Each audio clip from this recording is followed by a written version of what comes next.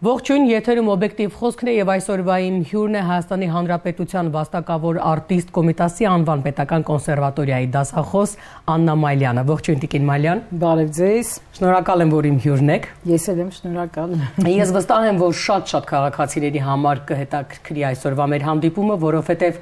բոլորը վերջին շրջանում հետևում են իհարկե այն թողբոյին ինչ կատարվում է կոնսերվատորիայի գլխին, ես կասեի կոմիտասի անվան պետական կոնսերվատորիայի գլխին։ Ես կուզեմ հիմա իմանալ ինչ ընթացք է, ինչ է տեղի ունենում, որովհետև համացանցում հերոստատիտողը տեսավ, որ ակտիվ բոյկոտում են եւ ուսանողները եւ դասախոսական կազմը եւ շատ սիրուն մեջբերումներ լսեցի ես անձնակազմից, բայց այս պահին, քանի որ արդեն անցել է մի քանի օր, ինչ է ի վերջո տեղի ունենում, ինչ պատասխան ստացաք պատասխանը այդ ժողովից ստացած պատասխանը արդյունքները ավելի շուտ այսպես ասեմ, որ կոնսերվատորիան իր տեղից ոչ միտեղ չպետք է շարժվի եւ մեր ուսումը, մեր կյանքը կոնսերվատորիայում պետք է ինչպես կար, այնպես է պետք է շարունակվի։ Սրանով մենք բաժանվեցինք այդ ժողովից, այսինքն կոնսերվատորիայի ղեկավարության դասախոսական կազմի եւ ուսանողական կազմի միակարծիք այդ հավաքական այսպես ելակետը հստակ էր, որ մենք դեմ ենք միանալուն ակադեմիական քաղաք կոչվածին եւ ընդհանրապես այդ ինչի է ցակել նման գաղափար ես չգիտեմ։ Դիգի բալան եկեք քանի որ մեր երկրում ամեն ինչ է թարս արվում։ Այնքան լուրջ ենք խոսում այդ թեման։ Մեր զրույցն էլ է մի տեսակ թարս լինելու, հա, թարս է ստացվում։ Ակադեմիական քաղաք պատրաստ է։ Ոչ Լավ։ երբ կարող է պատրաստ լինել, ակնկալվում։ Ակադեմիական քաղաքը վաղուց ի վեր կար, կոնսերվատորիան 100-ից ավել տարիներ գոյություն ունի, իր գեղեցիկ ակադեմիական միջավայրում օպերային թատրոն, ֆիլարմոնիկ սրահ։ Ինչ պիտի լինի հարակից տարածքում։ Երաշտական ասեք դպրոց, խորեոգրաֆիկը, ոչ հերու են գտնվում համալսարանը, ոչ հերու է գտնվում նաև հրաշալի ֆիզկուլտ ինստիտուտը, գեղարվեստի ակադեմիա գլխիները գլխին էլ ամբերկակուտակ Վաստիկին Մալյան։ Չէ, գիտեք ինչ, վաղուց արդեն ի վեր ինչ որ մեկի հրաշալի գաղափարը, որ իրականացվել է, ժամանակ է, որ մի այլ գեղեցիկ գաղափար իրականանա, բայց ոչ ջնջելով այդ գեղեցիկ գաղափարը։ Եթե կարելի է մի այլ ալտերնատիվ ինչ որ հրաշալի մի բան կառուցել, խնդրեմ Չէ, բայց այս երկրում ամեն ինչ արվում է վնասելով քաղաքացուն, խնդիրներ ստեղծելով, դե տեսեք, հիմա սկսած դեղատներից, տրանսպորտից ես կարող եմ հիմա սրանք թվել, բայց եթե ուրիշ քաղաքներում, որովհետև իրենք սիրում են ուրիշ քաղաքների օրինակները բերել, բայց ուրիշ քաղաքներում ես չեմ տեսել, որ մարդկանց չգիտեմ, պետական կոնսերվատորիան հանեն սրտից փոկեն թափեն գցեն։ Ամեն ինչ արվում է քաղաքացուն ի վնաս։ Իմիջիալոց շատ լավ միտք է, ես արդեն մի քանի անգամ լսեցի տարբեր քաղաքացիներից, ասում են ինչու չեն օրինակ նախարարությունները տեղափոխում։ Այո, արդիականն է։ Դուք միևնույն է քաղաքը փակում եք սարսափելի կերպով, շատ ոչ միայն նախարարությունները, ոչ միայն նախարարությունները, այլ ամբողջ քաղաքական այդ ոլորտը հանեն Եթե դու գնալ գալ աշխատանքից ռոմանտիկ քաղաք է Երևանը։ Իրենք թատրոն չեն գնում, կինո չեն գնում, ես վստահ եմ որ չեն գնում։ Չեն այցելում միայն ռեստորան։ Ինչ որ շատ կարևոր, հա, այնտեղ կարելի է ռեստորաններով շատ գեղեցիկ քաղաք կառուցել։ Իդեպ, իդեպ ասվում էր, որ այնտեղ միջավայր է ստեղծվելու, այսինքն նույն այսինքն եթե ձեզ պետք է համերգային անցուդարձ, այնտեղ լինելու են դահլիճներ, ով է գալու այդ դահլիճները։ Ժողովուրդը քաղաքի կենտրոնից պիտի վեր կենա գատեղ համերգի։ Թե հատուկ ուսանողների համար են լինելու համերգային ծրագրեր։ Չի լինելու, հնարավոր չի դա։ Դա հնարավոր չի։ Բայց Տիկին Մալյան գոնե ինչ որ տարեթիվ ասել են, որ այս թվին պատրաստ կլինի ակադեմիական քաղաքը երբ է դա այսպես մինչև 30-ը, այդպեսի մի բան եմ լսել, բայց դա абսուրդ է, այսինքն եթե Բայց ավելի լավ չէ լինի, ցույց տան, հետո խոսեն։ Հա, բայց խոսվում է այն մասին, որ պետք է վարձակալության տրվեն բուհերը, բուհերի շենքերը, հայտնի բան է ասվում է, որ վարձակալության պետք է տրվեն եւ այդ ֆինանսներով կառուցվի այդ քաղաքը, դա որպես ինչ վարձակալության, ինչ է լինելու։ Դե բա հենց այդ է խնդիրը, որ ինչ հյուրանոց, ռեստորան, ինչ, ինչ, ինչ պետք է լինի այդ շենքերի։ Դե մոտավորապես այն ինչ դուք ասում եք։ Ну, այլ բան, այլ բան ո՞նց կարող է լինի։ Կարող է լինի ալտերնատիվ։ Այսինքն այդ տեսակ շենքում պետք է լինեն օֆիսներ, Եթե լինի երաժշտական մասնավոր ակադեմիա, չգիտեմ, չգիտեմ, բայց parze որ բիզնեսի պիտի ծառայի, բիզնեսի ինչ պիտի ծառայի։ Տիկին Մալյան, եկեք որպեսզի քաղաքացուն པարզ լինի, ինչով նաև կարող է վնասել ուսանողին եւ դասախոսին այդ տեղափոխությունը։ Եկեք հասկանանք, ինչ գործառույթ ունի ուսանողը իր սովորելու տարիներին, դասախոսը, որ ոչ մի կերպ հնարավոր չի ակադեմիական քաղաքում դա իրականացնել։ Հեշտ կերպով բացատրեմ։ Օպերային շենքի մոտ գտնվում է մեր Կոմիտասի անվան կոնսերվատորիան։ Ուրեմն օպերայի եւ ֆիլարմոնիկ սրահի երաժիշտները, մեր հրաշալի երաժիշտները, երգիչները, դիրիժորները, իրենք այդտեղ աշխատում են առավոտը ժամը 9-ից աշխատում են, ինչ որ մի, չգիտեմ, ասենք ժամը 1-ը, մինչև ժամը 2-ը, հա, որից հետո փողոց են անցնում, որտեղ ժամանակ չկա։ Ժամը 2-ին սկսվում է կոնսերվատորիայում իրենց դասախոսությունը իրենք ուղակի փողոց են անցնում, որ մտնեն կոնսերվատորիա, որ เป զի շարունակեն իրենց օրը դասավանդմամբ։ Ահա ուսանողը ուսանողական օրը ավարտելուց հետո վազում է փողոց է անցնում որ գնա ներկայացում նայելու կամ ինչ որ համերգի ներկա լինելու էլի ուսման կարևորագույն մաս է կազմում իդեպ ոչ հերու նաև գտնվում է կոմիտասի անվան կամերային երաժշտության տունը որը եւս մի 10 րոպեի ճանապարհ է հո հենց այնպես չի մտածվել կոնսերվատորիայի շենքի դիրքը հո հենց այնպես չի երեխան, ով սովորում է Սայատնովայի երաժշտական դպրոցում, հնարավորություն ունի մտնել կոնսերվատորիա, անմիջապես մտնել կոնսերվատորիա, վարպետաց դաս ասենք թե առնելու որևէ մի դասախոսի հետ կամ լսելու կոնսերվատորիայի ներսում եղած համերգը, ամեն ամեն բան հա տարբեր բաներ են կատարվում կոնսերվատորիայում, էլի։ Եվ այլն, եւ այլն, եւ այլն։ Հետո ասեմ ձեզ, միջ բուհական հարաբերություններ կան, ասենք Գեղարվեստի ակադեմիայի հետ ես հիշում եմ շատ լավ ծրագրեր կային։ Իդեպ այդտեղի ուսանողները ինչ որ երաշտական ծրագրերով գալիս էին կոնսերվատորիա, կոնսերվատորիայի ուսանողների հետ, այսպես գիտեք նորմալ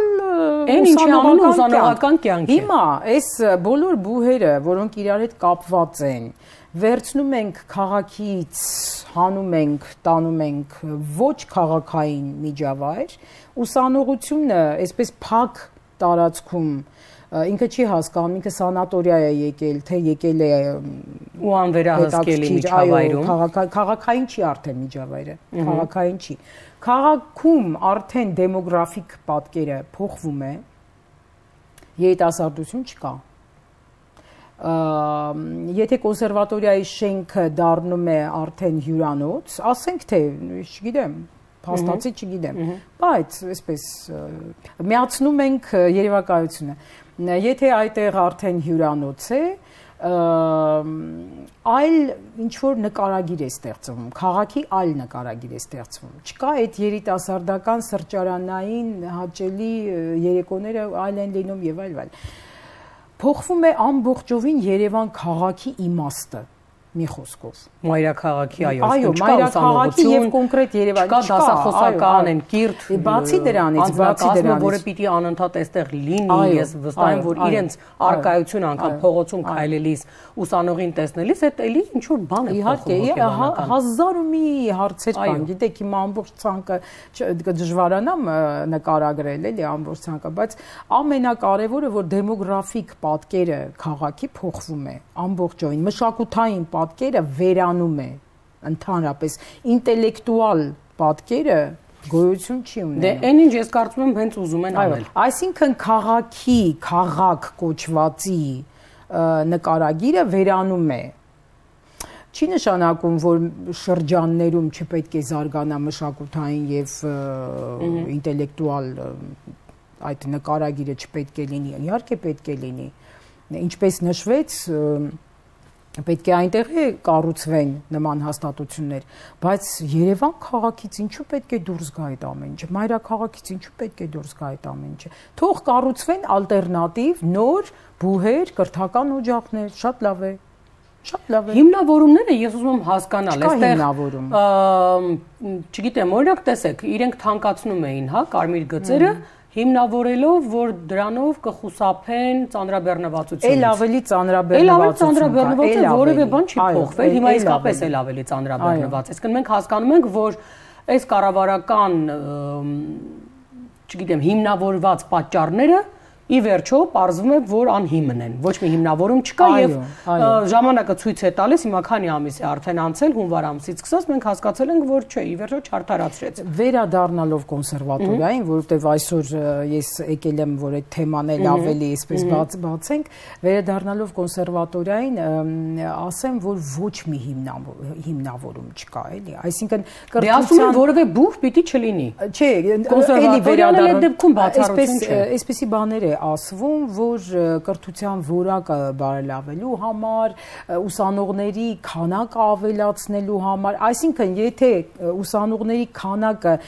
դիտարկվում է ընդհանուր 1 բուհի կտրվածքով, իհարկե այդպես մեկը խոշորանում է, բայց այլևս մենք չենք ունենում կոմիտասի անվան կոնսերվատորիա չենք ունենում եւ դա ծիծաղալու է յուրաքանչյուր երկիր մեր վրա ծիծաղալու է որ մենք կոնսերվատորիա չունենք հասկանում եք ամոթ է Ամոթ է, մենք ամբողջ աշխարհին Այսինքն եթե մի րոպե, Տիկին Մալյան, եթե բուհական քաղաք ստեղծվի, ուսանողների թիվը կմեծանա։ Դե եթե 1 բուհ եք պատկերացնում, եթե 1 բուհի կտրվածքով եք նայում։ Ահա։ 1 բուհ։ Դառնում է 1 բուհ ահռելի քանակությամբ։ Ահա ղժբժ մեկը մյուսին ով ում բարեկամն է չի հասկանում, այդ ղժբժ է լինում, այնտեղ շեփորների, տրոմբոնների ձայնը սրանց խանգարելու է, ես խորացա մի քիչ։ Բայց եթե դուք ասում մասնագիտական թատերական ինստիտուտը այնպիսի աղմուկ կարող է ունենալ իր բեմական խոսքի դասերի ընթացքում, բա կոնսերվատորիան իր շեփորներով, շեփորներով եւ օպերային ձայներով պատկերացնում եք ինչա լինելու, սկսվելու է կոլապս։ Այդ մեկ խոշորացվածի մեջ սկսելու է կոլապս այլ հետո պետք է ասեն որ չէ այս ձեռք չի տալիս բա ինչ անենք ուրեմն դուրս եկեք ստեղից սա դառնալու է չգիտեմ ինչ եւ այսպես շարունակ ոչ ուսանողություն ոչ դասախոսություն ոչ մի բան հասկանում եք լինելու է համընդհանուր կրթական կոլապս այս Չնայած որ խոսվում է որ մեր բուհերը համապատասխան, չգիտեմ, այդ լիցենզիաները չունեն, հա։ որ իրենք կրթական առումով չեն համապատասխանում ինչ որ ստանդարտների։ Տեսեք, ես իմ տարիների ընթացքում որպես հաղորդավար բազմիցս արդեն ունեցել հանդիպելու երիտասարդների հետ, ովքեր սովորում են, կարողացել են ընդունվել աշխարհի լավագույն բուհերում դրանք կոնսերվատորիականների մասին։ Էլ չասեմ, թե մենք ինչքան հյուրեր ենք ունեցել կոնսերվատորիայից, ովքեր համաշխարհային ամենահեղինակավոր բեմերում ելույթ են ունենում, եւ այդ ծրագրերի մասին մենք արդեն ունեցել էլի մեր հաղորդման ընթացքում անդրադառնալու ճանաչելու կոմիտաս անվան մասին չասեմ, թե եւ հայեր ովքեր ծնվելու մեծացել են դրսում եւ դրսում ապրող համաշխարհային ճանաչում ունեցող երաժիշտներ, ովքեր ինչ որ ծրագրով եկել են Հայաստան եւ իրենք խոսում էին կոմիտասի մասին, որպես, չգիտեմ, լավագույն բացահայտում է իրենց կյանքի եւ մենք էլ չեմ ասում, որ այդ անունից էլ ենք փորձում հրաժարվել։ Ասում եմ փորձում, որովհետև շատ ուրախանում եմ տեսնելով պայքարը կոնսերվատորիայի բնակիչների։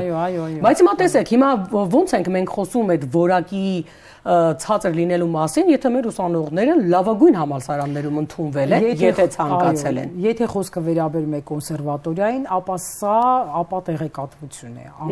իհարկե, որովհետև կոնսերվատորիան ամեն վարքյան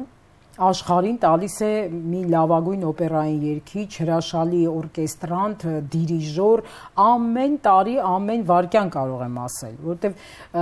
ամբողջ աշխարհի թատրոնները, համերգասրահները ողողված են հայ կատարողներով։ Այո, այո։ Եվ դա ինչի մասն է խոսում։ Եվ ուր էլ որ գնաք, ինչ երաժշտական մտնոլորտում է որ լինեք, եթե ասում եք ես ասում եմ օրինակ, ես ավարտել եմ կամ դասավանդում եմ Կոմիտասի անվան պետական կոնսերվատորիում, օ, բոլորը գիտեն։ Բոլորը գիտեն կոնսի մասին, բոլորը։ Եվ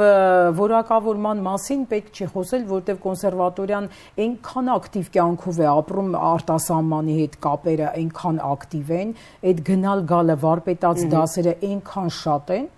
որ պետք է այդ թեման փակ լինի ընդհանրապես այսինքն ընդհանրապես գոնե կոնսը չպետք է լինի այդ ցուցակում։ Դա մեծագույն սխալ է։ Ինչպես նաև մեծագույն սխալ է ԿԳՄՍ-ին կպցնել մշակույթի նախարարությունը։ Դա մեծագույն սխալ է։ Սփյուռքի նախարարությունը կպցնել ԿԳՄՍ-ին։ Եվ ես կարծում եմ, որ մի նախարարը սպորտից, կրթությունից, մշակույթից թերևս չէր կարող հասկանալ։ Չնայած որ տեսեք, մենք հիմա խոսում ենք որակի մասին, լիցենզա լիցենզավորման մասին եւ այլն, բայց պարադոքսը այն է, որ խոսվում է մի կառավարության կողմից, որտեղ օրինակ անգամ ավարտած չեն պետական համալսարանը կամ հա։ մարդուն հարցնում ես ինչ կասեք այսօր մեծն բանաստեղծ Հովանես Թումանյանի ծննդյան օրն է եւ ասում է ում հա ես մի տեսակ գրականությունից հեռու եմ անուններ չգիտեն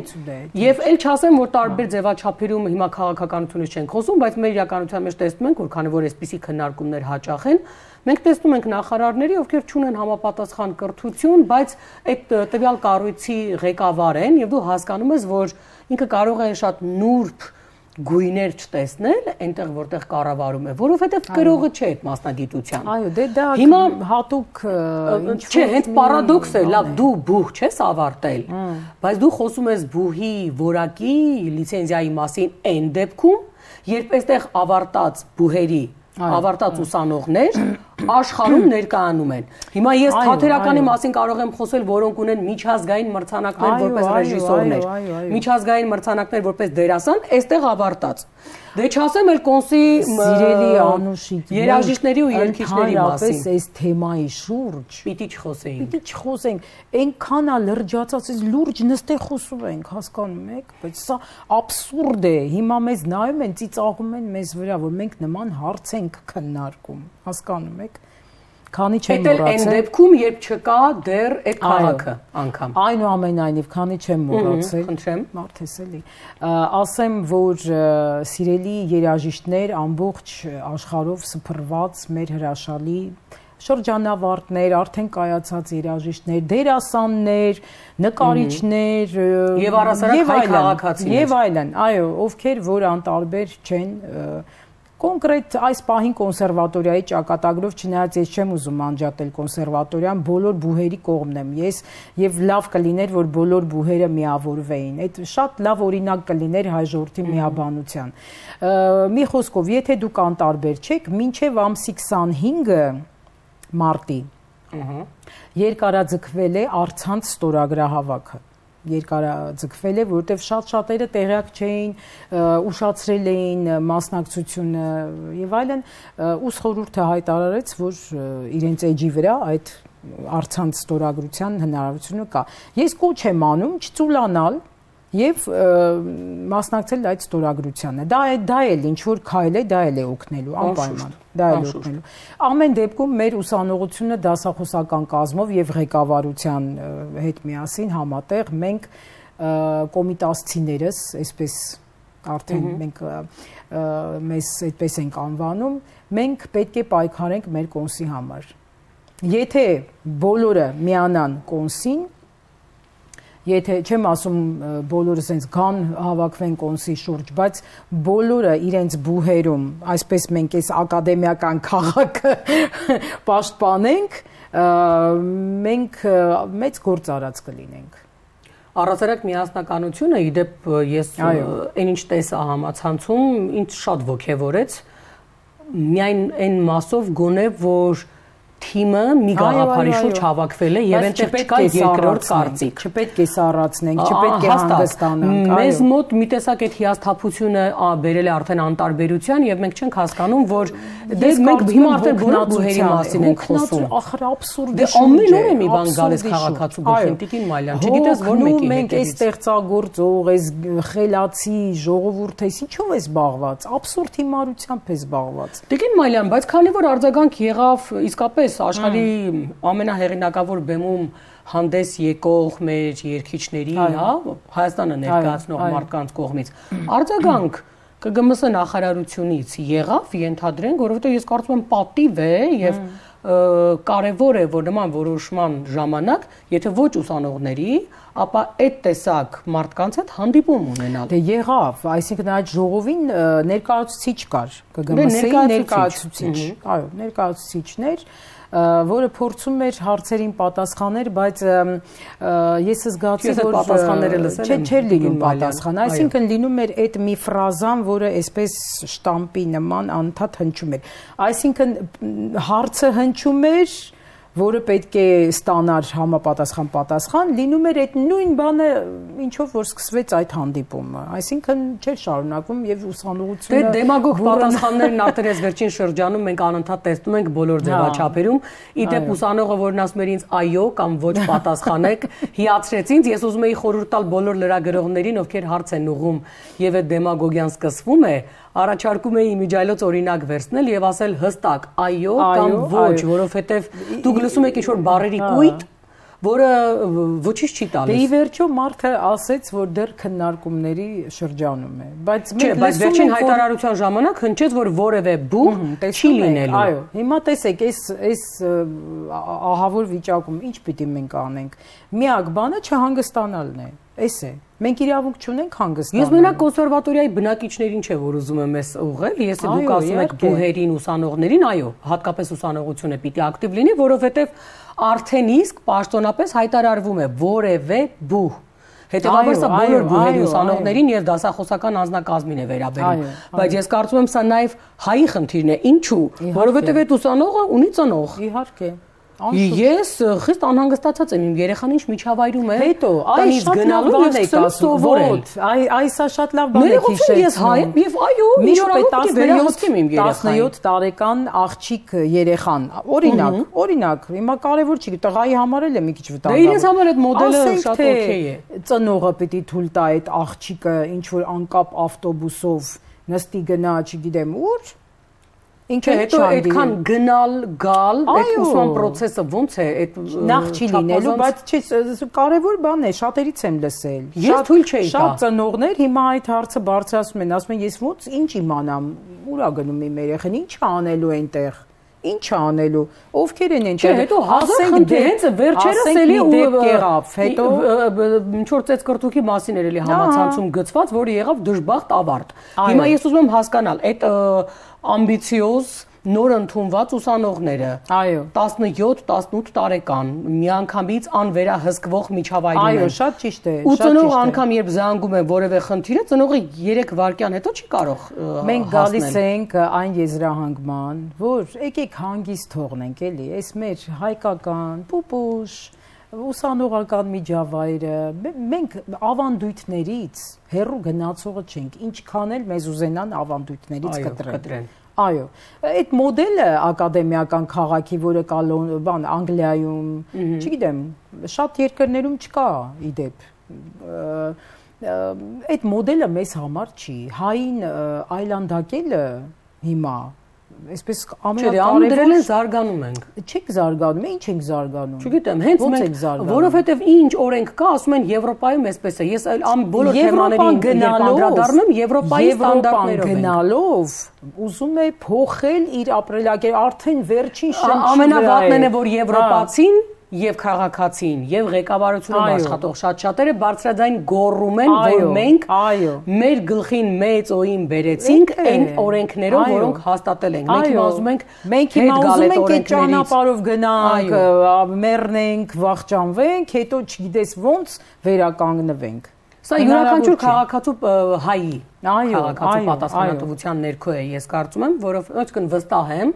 որովհետև նախ էս անտարբերությունը մեզ կործանում է, Եվ հետո մենք հասկանում ենք, որ բոլորը միահամուր համացանցում մեր շուրջ գոռում են միասնականության մասին։ Անտարբերություն չի, Անուշ ջան, անտարբերություն չի, սա հոգնածության նշան է եւ անհավատության, սա է նույն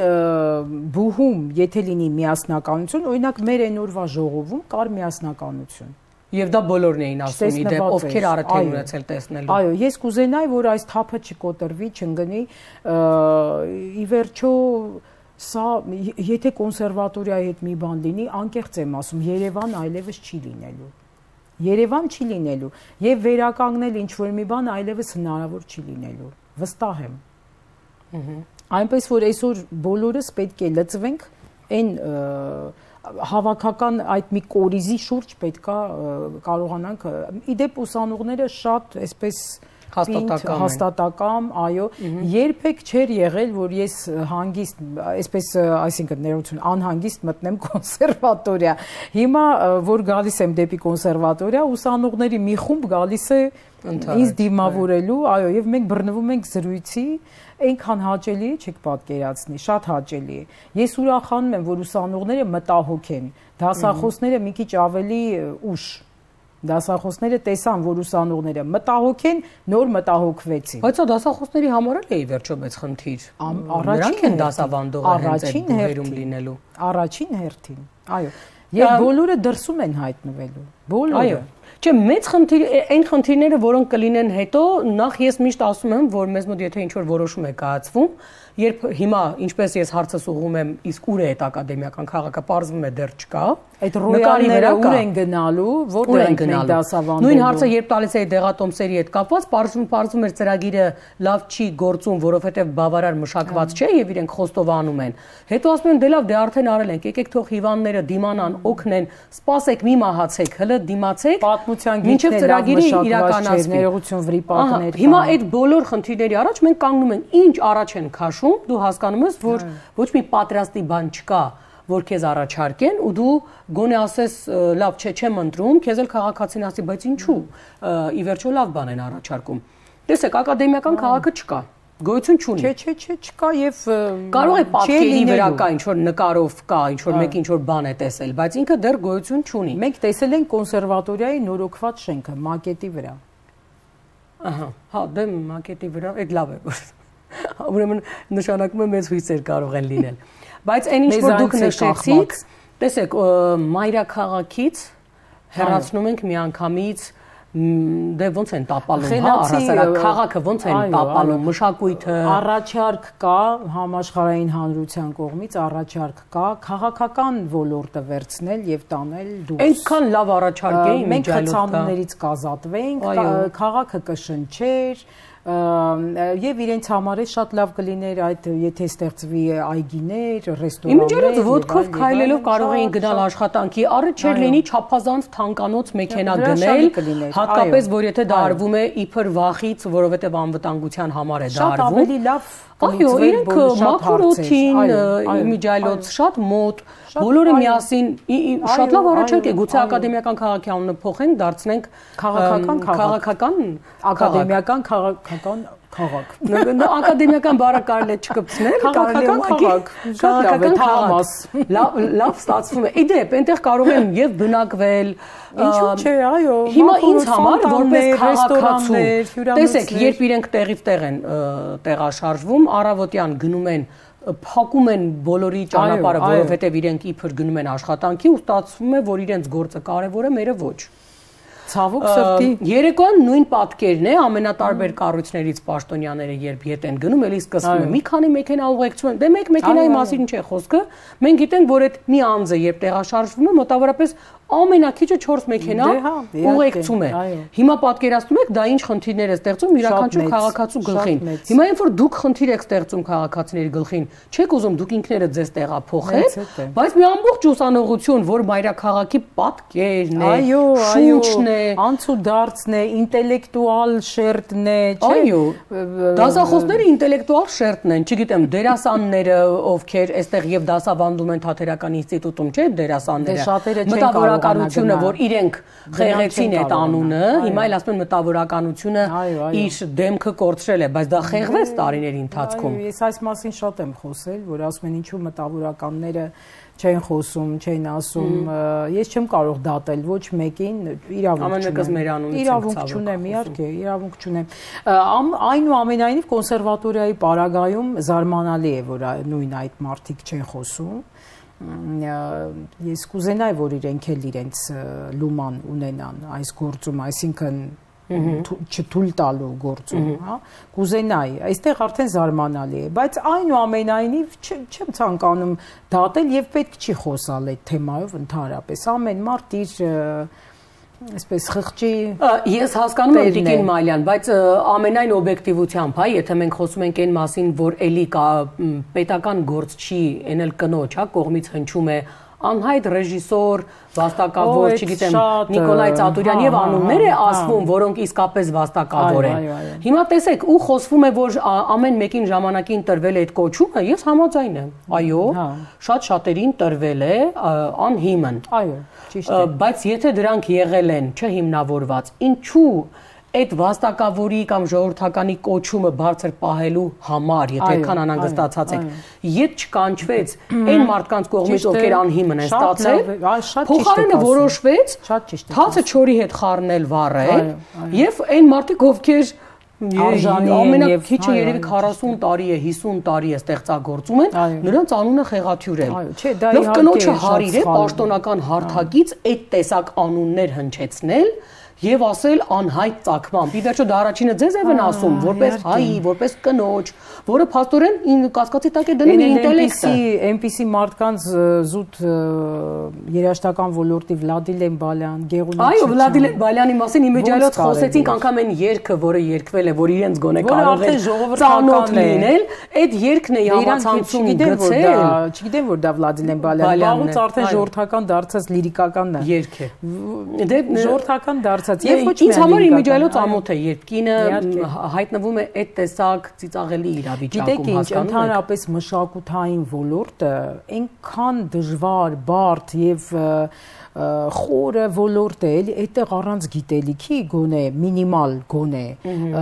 ոդկ դնելու իրավունք չունես։ Այսինքն այդ դե ոլորտից խոսելու ԿԳՄՍ հասկանում եք, մշակույթի նախարարությունը դա շատ սխալ է։ Պետք է միավորվեր։ Դա շատ սխալ է։ Մշակույթի մեր երկրի պարագայում, երկրի, որը ներկայացնում է ներկայանա ներկայացվում է աշխարհին հենց իր մշակույթով մեր երկրի պարագայում դու միայն առանձին մշակույթի նախարարությունը պարտադիր է երկրորդը սփյուռքի նախարարությունը մեր երկրի չափ ոչ մի երկիր սփյուռք ասած ընդհանրապես չունի էլի մեր երկիրը ունի սփյուռք եւ անջատել այսինքն միացնել սփյուռքի նախարարությունը այդ ԿԳՄՍ-ին անիմաստ է գոնե այդ երկու կարևոր ոլորտները պետք է առանձին մնային որովհետև եթե մենք ունենայինք մշակույթի նախարարություն, ես վստահ եմ հիմա մշակույթի նախարարությունը մեր կողքին կլիներ։ Վստահ եմ։ Այո։ Դե ինձ թվում է ամեն ինչ հենց այդպես գիտակցված էլ արվել է, որովհետև միանգամից միավորվեց այդ մշակույթի նախարարությունը, փակվեց, միավորվեց։ Հիմա բուներն են միավորվում, անընդհատ ինչ որ բաներ են այսպես միավորվում, որովհետև այդ միավորման արդյունքում մենք հասկանում ենք, որ հստակ գույներ նկարագիր է սկսելու դե բացակայել փակասել։ Ուրիշ բաներ է, ինչ որ ծրագրեր են, որոնք մեր ազգության հետ բոլորս էլ հասկացել ենք, կապ չունեն մեզ հետ, կապ չունեն։ Եվ ոնց էլ անեն ինձ թվում է մեր հայկական այդ էությունը ինչ որ մի ծակից դուրս է բրցնելու։ Ես հուսամ նախորդ մեր հյուրն ասում էր, գիտեք, դեպի քաղաքակրթություն ենք գնում, դուք անընդհատ այդ նորություններից, այսպես ասած, խուսափում եք, դժվար եք ընկալում։ Այո, մարդկային հոգեբանությունը յուրաքանչյուր նորություն դժվար է ընկալում, բայց ես հավատացնում եմ, որ մենք հասկացել ենք, որ այդ քաղաքակրթությանը ընթരാճ գնալով մենք գնացինք դեպի անդունդ։ Եթե քաղաքակրթությունը ապացուցած է հետաքրքիր գաղափար, որը դու որպես ինտելեկտուալ շերտ, հասկանում ես, որ դա ինչ որ մի բանի շարունակությունն է եւ բերելու հետաքրքիր լուծումների, օրինակ մենք արվեստագետներս էքսպերիմենտների սիրահար ենք, այո։ Մեծ սիրահարներ ենք, այո։ Եթե դու զգում ես, որ էքսպերիմենտ կա անելու եւ այդ էքսպերիմենտը ինչ որ հետաքրքիր բանի է, իմպրովիզացիան, հա, տանում է հետաքրքիր ինչ որ լուծումների, այո, ինչու ոչ, բայց մի վառ օրինակ բերեմ հայ հոգևոր երաժշտությունը ակապելլա հայ հոգևոր երաժշտությունը եթե էքսպերիմենտի ես ենթարկում այսինքն ավելացնում ես նվագակցություն, ինչ-որ հետաքրքիր, այսպես իմպրովիզացիոն հետաքրքիր բաներ ես անում, ի վերջո դու որպես արվեստագետ դրա մեջ 30 տարի եղած երկչուհի եմ, էքսպերիմենտներ եմ անում, հետո ասում եմ, այ մարդ ինչի համար եմ արել այս էքսպերիմենտները։ Ինքը արդեն կա դարեր ի վեր, այդպես գեղեցիկ այդ ակապելլա ֆորմայի մեջ, որը ունեցել է հետաքրքիր արդեն նվագակցություն, ակուստիկ նվագակցություն, այսինքն այսպես յենթագիտակցական նվագակցություն ինչի է միացնում, սարքում եւ այլ ի վերջո վերադառնում ենք ակունքներին։ Ակունքներին։ Ակունքը ամենաճիշտն է։ Եվ իդեպ եթե մենք վերադառնանք մեր ակունքներին, ինձ թվում է կսկսենք հասկանալ նախ հայ արժեքը, ուժը եւ մեր մշակույթի գինը։ Դե մեզ անընդհատ ուզում են այնպես անեն, որ մենք ակունքին չվերադառնանք։ Աշխարհը գալիս է մեր մշակույթը ճանաչում է բոլոր առումներով, հիանում է։ Կոմիտասը լսում է հիացմունքի ապրում, Նարեկացի է կարդում 2 տարի չի կարողանում ուշքի գալ։ Խոսում էին մասին, որ ինքը երկու տարի սկսել է ուսումնասիրել պարզապես ինչ ասել են Արեկացի, որովհետև դա իր համար եղել է, չգիտեմ, անմարտկային ֆանտաստիկ մի բան, մենք որոշում ենք ոչնչացնել։ Ինձ համար շատ կարևոր է, որ այո, բուհը կրում է կոմիտասի անվան։ Անպայման որ երբ ես որպես ուսանող ասում են որտեղ է սովորում, ես ասում եմ Կոմիտասի անվան պետական կոնսերվատորիայում, դա ենթագիտակցորեն ինձ պարտավորեցնում է շատ առումներով։ Իհարկե, անշուշտ։ Բայց երևի թե սովորական ոչ այդ բուհում սովորող քաղաքացին պիտի հասկանա, որ նաև ասում մի զարկով երկու նապաստակ, հիմա դա է, մենք նաև այս անունն ենք ոչնչացնում, անընդհատ հնչելու հնարավորությունից։ Այդ գիտեք ինչի նման է, որ Երևանցին հիմա սրճարաններում նստած չի հասկանում սահմանում ինչա կատարվում։ Այ դրանն է նման։ Այսինքն եթե մենք, նույնիսկ եթե հանգիստ է, նույնիսկ եթե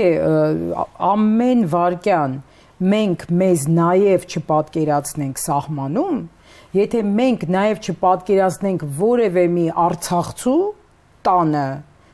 ով հիմա տուն չունի, մենք չմտնենք այդ կաշվի մեջ, մենք ոչ մի բանի չենք հասնի։ Այսինքն ինձ հետ դա չի կատարվե մայախատը սկրայո, հա, ոնց որ ասում են։ Ատե գիտիկին Մայլան հետաքրքիր է, որովհետև ես այս հարցով նաև մեր նախքին քաղաքապետին եմ մեղադրում եւ ես կարծում եմ բավական օբյեկտիվորեն եմ մեղադրում, այ երբ որոշվեց օպերայի հարակից տարածքում գտնվող սրճարանները փակել, ես դրա հետ շատ համաձայն էի, չնայած որ կար մեծ էլի բոյկոտ, որովհետև ես լսել եմ այնտեղ ինչ երաժշտություն է հնչում, եւ ես էլի եմ ունեցել առիթ հենց ուղիղ եթերում ասելու ամենայն ազնվորեն Վերջին անգամ ես այդ տարածքի սրճարանում եղել եմ մոտավորապես 18-19 տարի առաջ։ Ես երբևէ տեղի սրճարանները չեմ գնում, բայց չգիտես ինչու կիսով չափ դրանք, հա, ապա մոնտաժվեցին։ Ես ուզում եմ հասկանալ, այ հիմա որովհետև պետք էր հստակ որոշել, որ այդ տարածքում, թեկուզ հենց շենքում ամրացված ինչ որ տարբերակով անընդհատ պիտի հնչեր գուցե Արամ Խաչատրյան, Կոմիտաս եւ այլն։ Տարբեր երբ պիտի բարձր հնչեր ամբողջ օրվա ընթացքում, հատկապես երեկոյան։ Այո, համամիտ է։ Փոխարենը այնտեղ այն նողկալի երաժշտությունը, որ ես հիմա արիթը եղել մի անգամ այնտեղով անցնելուց, ես լսեցի, ես հասկացա, որ այդ սրճարանները խայտարակություն են։ Այ դա չի քննարկվում։ Ինչու։ Այդ գիտեք ինչ, այդ դա պետականորեն պետք է լինի։ Յուրաքանչյուր եվրոպական մենք անդադ Եվրոպայից ենք, չէ, խոսում նմանվենք եւ այլն։ Եվրոպական յուրաքանչյուր մայրաքաղաքում, եթե ոչ բոլոր քաղաքներում, որտեղ որ ամեն դեպքում որտեղ որ ես եղել եմ եւ տեսել եմ օպերային թատրոն, հա, կից կամ յուրաքանչյուր համերգասրահ, կից կա 1 2, եթե ոչ 1 սրճարան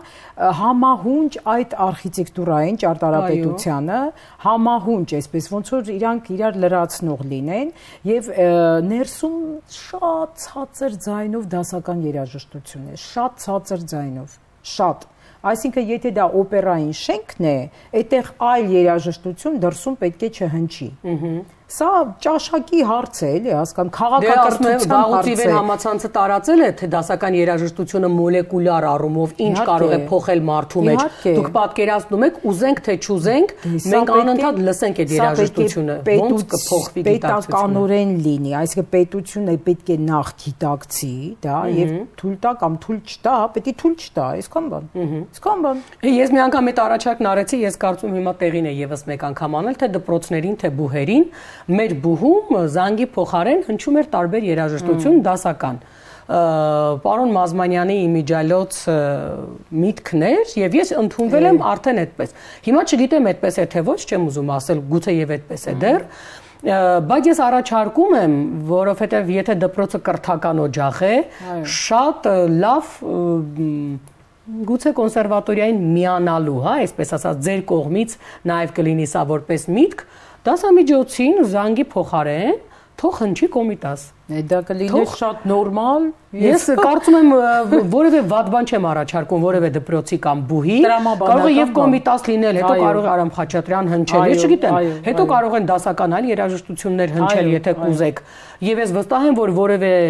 ուսանող կամ երեխա կամ ծնող սրան դեմ չի լինի, հատկապես եթե մենք ուզում ենք ուղակի մարդու մեջ նստացնել այդ դասական երաժշտության հանդեպ սերը։ Այո, շատ ճիշտ է, շատ ճիշտ է։ Շատ ծնողներ ասում են 2-3 տարեկան է երեխան երաժշտությունից չի հասկանում, բայց ինքն առավոտյան արթնանում է, տանը ինչ որ որտեղ ցածր հնչում է դասական երաժշտություն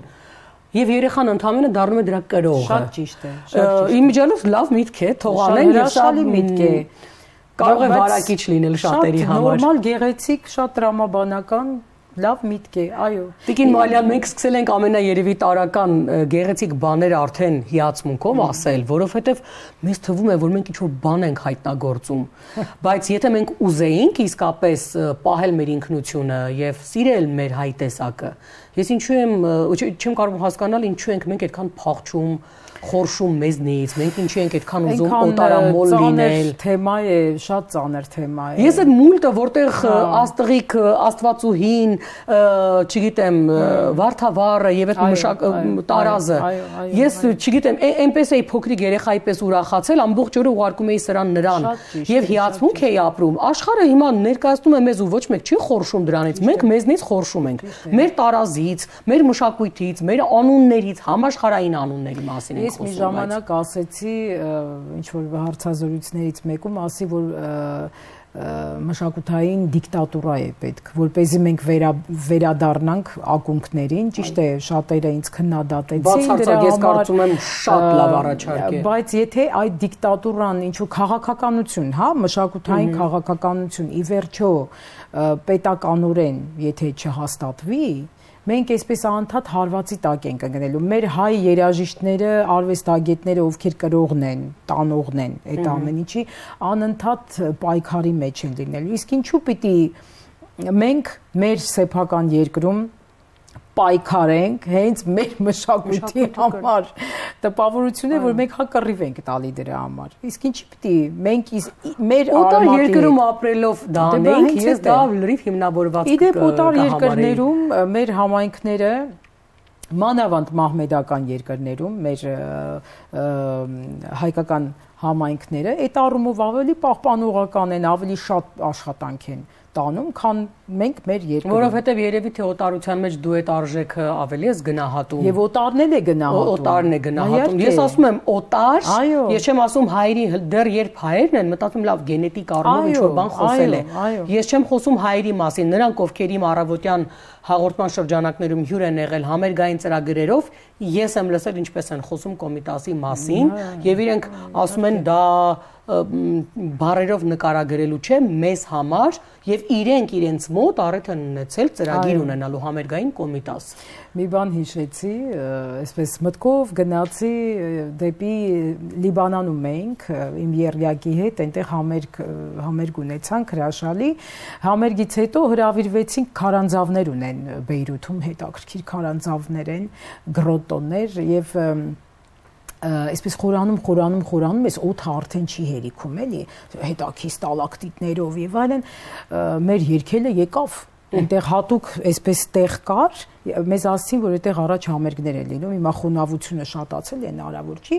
ասինք եկեք երկենք երկեցինք, երկեցինք այդ ինչ մոգական զգացողություններ, հոգևոր երաժշտություններ, կոմիտասեր, մի խումբ տուրիստներ մոտեցան մեզ, անգլերենով հարցրեցին սա ինչ էր, ասի հայ հոգևոր երաժշտությունն է, կոմիտաս, ա կոմիտաս, գիտեին մարդիկ։ Մարդիկ գիտեին։ Խնդրեմ։ Տիկին Մալյան, ես շատ շնորհակալ եմ, որ իմ հյուրն էիք ու ես